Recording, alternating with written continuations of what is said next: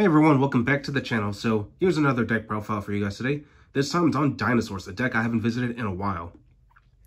Uh, so as you can clearly see, I'm running Scrap Wyvern. So yeah, I am running the Scrap engine now that it's actually more accessible this time around. I mean, in general, the, the engine was sort of already accessible. The only card that was like super expensive was was a uh, Scrap Chimera. So yeah, I'm just glad it finally got a reprint, but we'll get into that later on. But anyway, figured I'd show you guys what I got this time around. This is a strictly going second deck. However, I do have options of going first two on the side deck. So, but again, overall, this is mainly going second deck because it's just really good at clearing boards, especially with cards like Tyranno, still one of the best boss monsters ever. So, yeah. Oh, and if you notice, uh, my voice is a little weak right now simply because uh, I have a, a minor cold right now. So, but no worries, it's not COVID. I'm perfectly fine. I should be fully recovered in a couple more days. So, Anyway, let's go and get to it. All right, so starting off with the main deck, playing three copies of Oviraptor, one of your main searchers, also Foolish Burial, and also has an effect where you can pop a dinosaur monster to special summon back one from your graveyard, and keep in mind you can also pop a dinosaur monster on your opponent's side of the field too, so yeah, Oviraptor is pretty nuts. Uh, one copy of Miscellaneous Horse, since, since unfortunately he's limited again, but the deck is still very much playable. Bear this in mind, because he's searchable, and plus you, as long as you uh, can OTK your opponent uh, with the right combos, you should be doing just fine with one miss anyway. So it's not the end of the world. Next, two copies of Animadorned Archosaur. This gives you access to your pill by popping a dinosaur from your hand or field. So you mostly just use this to pop uh, one of the babies and then, yeah, you just go, this, this is where the deck really gets explosive from there. And it's also a level one monster, so definitely uh, pretty relevant. But anyway, moving on. Speaking of which, two copies of Baby Saurus. I was thinking about running this at three, but I'm still debating whether I should. So far, team two seems to work just fine. And plus, I'm still running one copy of Petite Pteranodon, so yeah, it, it, I think this works just fine. Uh, next, for my one-ofs, one Pankratops, since, you know, it's a free um, special summon, as long as you have, as long as you have, your opponent controls more monsters than you do. One Giant Rex, and of course, uh, two of the big boy, Ultimate Conductor Tyranno. I'm not running Dogoran simply because uh, Right now, since uh, one of the best decks right now is uh, Lyrilusc Tri-Brigade, I kind of want to like, well, first I want to see what I'm up against first so I can plan ahead later on. But overall, like, um, as long as I can uh, out their board, I should be fine. But overall, yeah. Um, the only thing you really have to worry about is just the uh, barrier statue. But again, if you have the right cards in hand, you should be able to, you know, uh, pu push through. So I, I wouldn't really panic. Uh, moving on to the Scrap Engine, two copies of Scrap Raptor. And of course, uh, oh, for those who don't know what this actually does, uh, you can target one monster you control, destroy it. Also, during your main phase, your main phase this turn, you can normal summon one additional monster as long as it's a scrap monster. And if this card is destroyed by a card effect or by a by the by an effect of a scrap card, and sent to the graveyard, you can either add one scrap factory or one non-tuner scrap monster. And since this monster is a tuner monster, uh, your main targets for well to search off really are going to be uh, well, your main target really is just going to be Scrap Chimera. Um, when this card is normal summoned, you can target one Scrap Tuner in your graveyard, special summon that target. So, and of course, just to round up our Scrap engine, I am running one copy of Scrap Golem. It's not really needed, honestly. As long as you have the two Raptors and the one Chimera, it's fine. I'm just running Golem as just like, just to push for more plays, basically, and that's really all there is to it. But this card also has a pretty neat effect, is that once per turn, you can target one level 4 or lower Scrap monster in your graveyard, special summon that target to either side of the field. So either player side of the field, I mean. So yeah, just a good way just to bring back your Scrap Raptor, because again, being a tuner monster is actually pretty relevant for what we're going to get into later on. But yeah, that's pretty much it from there. Uh, for hand traps, running a bunch of two ofs actually, but I'm in total I'm running six hand traps. Uh, two Ash Blossoms. I've mentioned that this card is actually really good this format, and so far it still seems to work just fine. Two copies of Ghost Ogre, because again, Against Sword like as soon as they activate one of their monster effects to summon a token, you just pop that monster and they can't really do much with the token. And against the uh, Floowandereeze matchup, you just uh, aim for their field spell as soon as they activate it, or uh, activate its effects, and yeah, you can just pop it.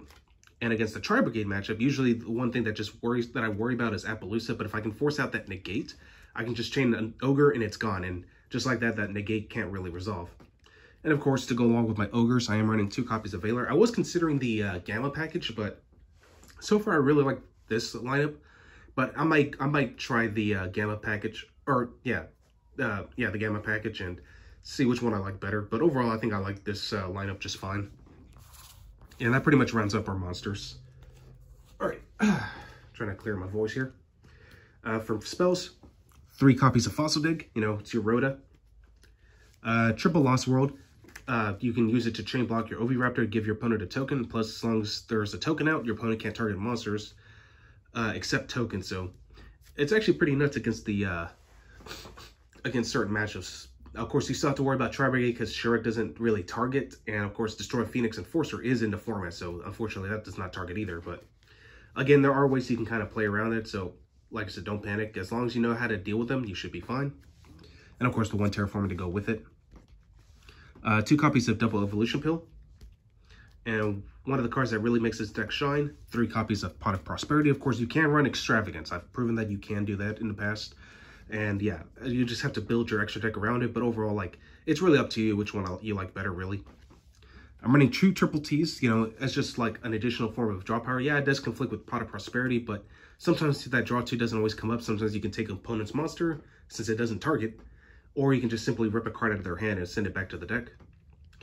Uh, two cross-out designators, since, you know, I am running certain Hound Sheriffs. Uh, the ones that I'm generally worried about are just Veiler and Ash Blossom, so it's just another form of Called by the Grave, which, speaking of which, one Called by the Grave. So, yeah, and that's pretty much it for the main deck. All right, so my extra deck's going to be pretty self-explanatory, starting with one copy of Scrap Wyvern. So this card reads is that you can target one Scrap monster in your graveyard, special summon it, and then destroy one card you control. So uh, you basically just pop one of your Scrap monsters, or you can just have this one pop itself. But um, if another face-up Scrap monster is destroyed by a card effect, which in case the monster you bring back while you control this monster, you can special summon one Scrap monster from your deck and then destroy one card on the field. So, of course, uh, you're going to bring back your Scrap Golem. Uh, and then, of course, if you want to, you can just pop like one of your babies if it's still on the field. So, yeah, it's it, it it's pretty abusable once you know how to properly use this card. So, yeah. Uh, for some Link 1s, one Link Kuriboh. Uh, I was thinking about cutting this at first, but then I realized, like, you know what? Almiraj does come up quite a bit. So, especially if you brick with one of the babies, you can just normal summon it, you know, trigger Lost World, and then do your combo from there, and then just link off into an Almiraj. And not only that, it also gets your pill life. So yeah, it's it's pretty nice, especially when you go into a secure Gardna. So just like another target for that. Uh, one Pentestag, you know, to give Tyranno piercing damage. I'm running my uh, favorite package, Masquerena and Unicorn, since, you know, it's just free disruption during the opponent's turn. And of course, uh, for my rank 4 of choice, I'm running Apollousa, since, you know, uh, this deck pretty much spans monsters pretty quickly as long as you have, like I said, have the right cards in hand and it's really not difficult to do whatsoever. I'm running a bunch of rank 4s, one Dolkka, one Laggia. I might pump uh, Dolkka to 2, I'm just trying to figure out what to cut next. But for sure, I'm still running one Dugaris, one Tornado Dragon to deal with back because, you know, I don't really like to deal with back. I'm not too sure how good Abyss Dweller is right now. I know it's good against Tri Brigade, but that's if, you know, you go first. And generally, this deck isn't really a going first deck. It's a going second deck. So, like I said, I'm kind of debating whether I should cut the, the Dweller, but I haven't decided on it yet. Now, because I am running Scrap Raptor as like one of my tuners, I do run a couple synchros, one Borreload Savage Dragon, which actually does come up a lot considering that, you know, uh, you run a bunch of level 4s and it's super easy to make. And I'm also running one Gnat Beast because Animadorned Archosaur is a level 1 monster, so you can just literally uh, go run Raptor and then into Animador and just make Nat Beast and just cancel out spells. So good way just to deal with the uh, Destiny or Fusion Destiny. Of course, you still have to worry about Verte Anaconda, but again, Nat Beast is just a good way to counter like some spell heavy deck, so just bear that in mind. And yeah. All right, so that's it for the extra deck. Uh, moving on to the side deck. Uh, side deck, I decided to kind of like use cards that I felt like were the best ones to pick out. So starting with three copies of Drone Lockbird, you know, there are a lot of search heavy strategies right now, like Floowandereeze and Sword Soul. At my locals, it's mostly just Tri Brigade, but we I am starting to see a rise in Sword Soul and, and uh, Floowandereeze, so I just want to be prepared Tune to Nibiru for like those road decks that, you know, that can't really play around it. Uh, three Cosmic Cyclone, and I've mentioned this before, Destroy Phoenix Enforcer is in the format now, and now that the whole combo with Artifact Scythe is a thing, I think Cosmic Cyclone is going to be one of the better uh, back row removal. So, yeah, and funny enough, this deck really does not rely too heavily on its extra deck anyway, but still. Uh, for those who are kind of like scared of that combo, just, yeah, try Cosmic Cyclone.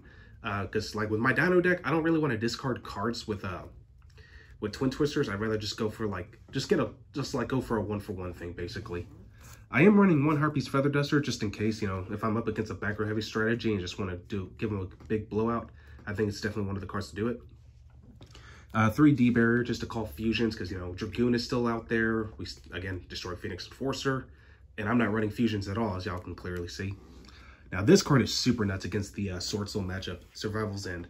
So basically, you destroy any number of normal monsters, in which case the tokens, and you can special summon level 4 or lower dinosaur type monsters uh, from your deck up to the number of monsters that were destroyed. So yeah, Survival's End can be really good, especially when you're going first. So uh, definitely something to try out.